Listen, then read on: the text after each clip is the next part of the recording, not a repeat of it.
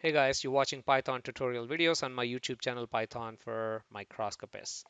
In the previous tutorial about Gabor features, I told you that it is my favorite filter or favorite uh, feature generator because uh, there are various parameters you can change uh, in Gabor to generate various responses from a given input image. So, uh, so this this makes it a great filter for machine learning type of purposes, where you can just generate humongous, you know, various features from a given input image and feed that to your favorite machine learning algorithm, whether it is random forest or support vector machines. So, just to give you a quick reminder, uh, in the last tutorial, this is where uh, we stopped. So, I actually we defined a Gabor kernel which is a function of the kernel size, sigma, theta, lambda, gamma, and phi. So by changing these parameters, you can actually get a numerous amount uh, number of uh, filters. So in this example here, we actually hard-coded my kernel size to 5, sigma to 3, theta to pi over 4, lambda to pi over 4, gamma to 0.4, and phi or phi to 0.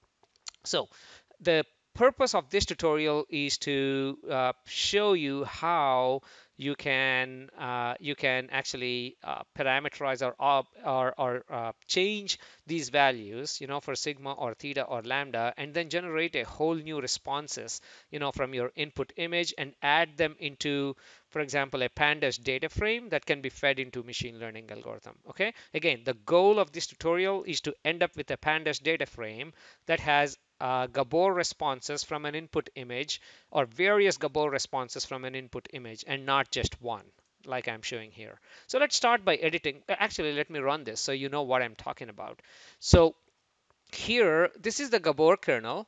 Yeah, because my my theta, if you look here, my uh, theta is pi over 4, right? So which is angled at 45 degrees right there. This is applied onto this original image right? And convoluted onto this original image via this line, cv2.filter, which leads to a resulting image. I mean, this is my resulting image. So because this is a band pass filter, any uh, uh, uh, feature of interest in my original image that's angled along the same direction in this example and passing through this band is going to show up. Everything else is blocked. That's why I'm not seeing the vertical lines. I'm not seeing horizontal. I'm not seeing the lines that are angled at negative 45 degrees. Okay, only the 45 degree lines are showing up. And this is a great example on the bottom left, a checkered uh, uh, structure, you know, texture, but I'm only seeing uh, the angled ones at 45 degrees. This is why I love this filter. This is an amazing filter for texture extraction, edge detection, and you name it. Okay, so let's jump into the code and edit it to in order to generate a filter bank or a bunch of filters okay? So for any uh, machine learning based uh, you know image processing of course you're going to generate a whole bunch of filters uh, that's the goal of this uh, tutorial but then you cannot forget the original information that's inside your image right? The pixel values itself are very incredible uh, uh, you know feature set that can help us in identifying various regions in your image. So let's start by actually I just typed import pandas as PD. So that's our pandas uh, our library. And uh, let's start by defining a data frame and uh, pandas dot data frame. And this is an empty data frame, nothing in uh, in the data frame yet. Okay, it's just an empty one. So now let's start adding information to this data frame. And the first one I want to add is the original image itself, the pixel values. Now, a data frame again is a bunch of rows and columns just like your Excel sheet. So uh, uh I do not want to put this two-dimensional information over there, right? I mean, my uh, image is 517 by 703. I want to unwrap it into a single dimension. So the way I would do that is define a new parameter, let's say called image2, uh, which is nothing but image dot reshape and reshape minus one. This is basically uh, collapse it into a single uh, column. Now I can go ahead and uh, add a column to my data frame. I want to call my column to be original, uh, let's say pixels. Okay, so fill it with values coming from image 2. So if I run the code until this point, let's clear all variables for now, okay? So now uh, if I run the code, you should see that my data frame has 363,451 uh, rows and one column, and that one column is labeled original pixels. This is how easy it is to add columns. Now our goal at the end of this tutorial, hopefully in 10 to 15 minutes, is to add a bunch of other columns corresponding to each Gabor response. And each Gabor response would be, let's add a column like uh, Gabor 1, Gabor 2, Gabor 3, and then keep changing these parameters and then add it to the original data frame. Okay, which means we need uh, to parameterize these values. We cannot just hard code them. First of all, let's not change the kernel size because this is typically for a given image. Uh, uh, you know, there's this uh, uh kernel size. Changing it by a lot doesn't uh, change the response. Well, if you go to 50 pixels versus 5, you'll see a change. But that completely depends on the feature size that you're interested in. Okay, so I'm going to hard code my kernel size. Uh, but I'm going to change the theta, sigma, and everything. So how do we change it? We know that, right? I mean, for theta in range, yeah? So I'm going to put a bunch of nested loops uh, using for. That's it. So for theta in range, let's only do two values, okay? Uh, and how do I want to change theta? I want to change it by, uh, let's say, theta over 4 times n pi. Uh, did I do numpy? Yeah. Multiplied by np dot pi which is nothing but uh, uh, pi over 4 and uh, get two values. Okay, so the first value would be 0, the second value would be pi over 4. That's pretty much it. So we change theta within, oh, I should have started with sigma. It's okay. Uh, so for theta, so since I already got theta, let me delete it. So within that, so by keeping the theta constant, now I want to change sigma. Okay, so for sigma, uh, in what do we do sigma here is 3 right so let's change 3 sigma only two values again okay so uh, it changes sigma. The first time the sigma would be 3 the second time the sigma would be 5 okay? Now for each sigma change lambda. Let me delete sigma just so we minimize confusion. Change lambda and uh, how much? Uh, let's do a range okay? Np dot uh, a range. Go from 0 to pi okay in steps of pi over 4 pi divided by 4 okay I think that works. Okay so for lambda in np range okay that's fine. And uh, should we change gamma? Why not? For gamma and uh, what do we want to change gamma to? Uh, right now we have 0.4 let's actually do 0.05 and 0.5 and by the way if you remember gamma uh, equals to 1 means the the kernel is going to be spherical. If gamma is 0 means it's very high aspect ratio gamma okay? So this is uh, high aspect ratio and uh, this is somewhere in between. So for gamma. So we actually did this. Should we change phi? No. Let's let's uh, hard code the phi value to zero here okay? Let's not change it by uh, then it becomes too much. So uh, first of all uh, I'm a bit curious is it working? Okay so let's go ahead and print sigma lambda gamma uh, sorry let's start with theta. Okay so let's do this until this point let's run the code. There you go. So sigma is uh, first 0 I mean sorry theta is 0 sigma is 3 uh, lambda is 0 gamma 0.05 and then gamma changes to 0.5 everything the same. Once this is done it goes to the next loop right? Then the lambda changes.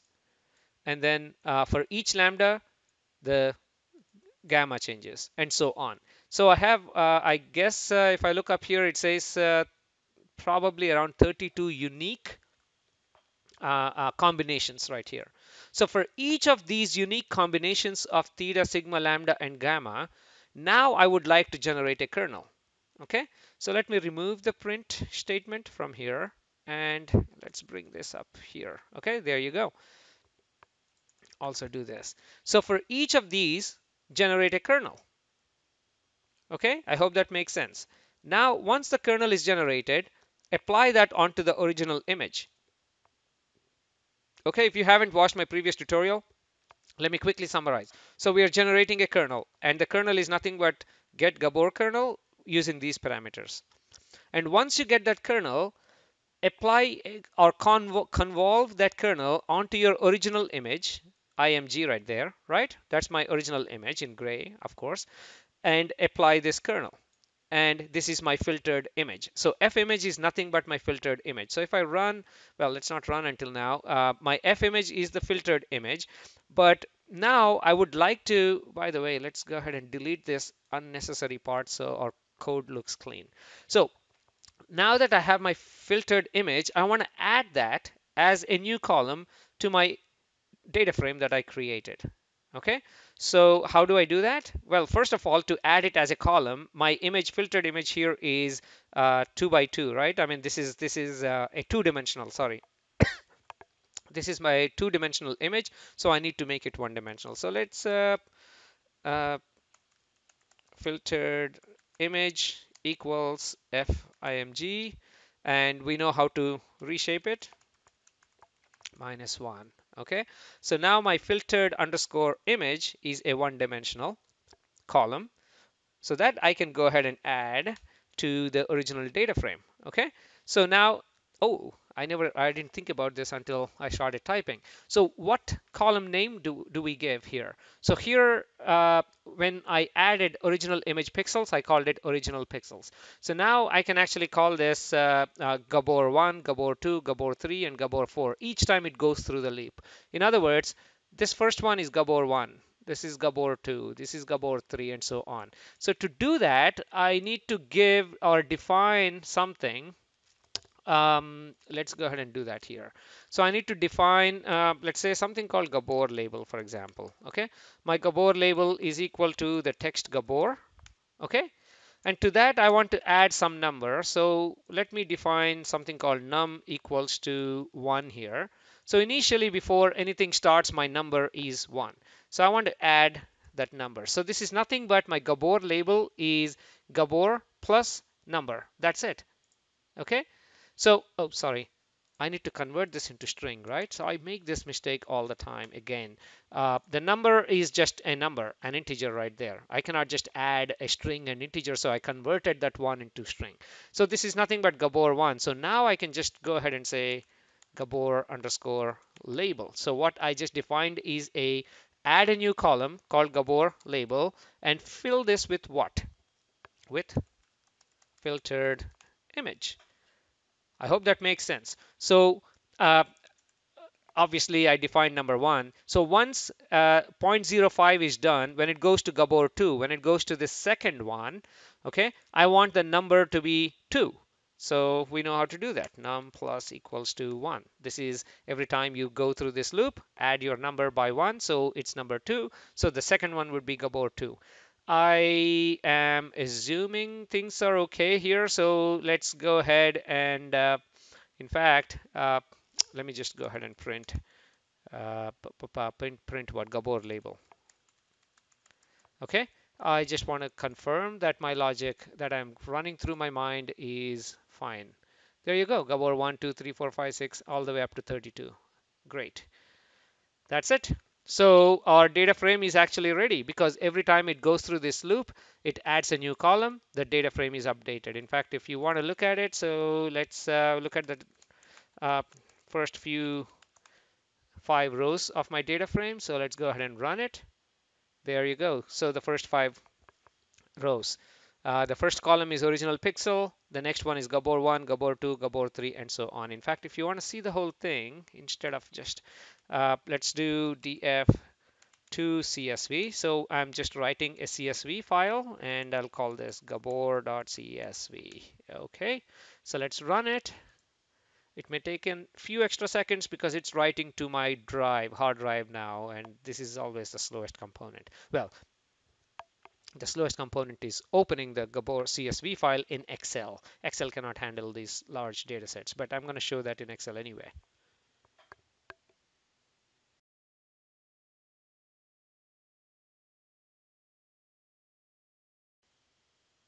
Okay, here you go. So here is the CSV file that we generated. So the first column is the pandas data frame index. If you remember, that's what the pandas data frame does, right? I mean, the uh, first column is index here. And uh, the second column here is our original pixel values. So uh, this is the second column and then Gabor 1, 2, 3, 4 and so on all the way up to Gabor 32. This is the filter bank that we have. Well, we generated a filter bank, but we generated a image response or a bunch of filtered images uh, uh, right here. And this is all ready to go into your random forest algorithm and uh, be trained and and blah blah blah right so i'm going to talk about that in my upcoming tutorials but I hope now you understand why Gabor is my favorite and it should be your favorite if you like uh, traditional machine learning approaches. So thank you very much. If you think this tutorial is educational, informative, go ahead and subscribe to my channel because I try to create more of such videos. Uh, thank you very much.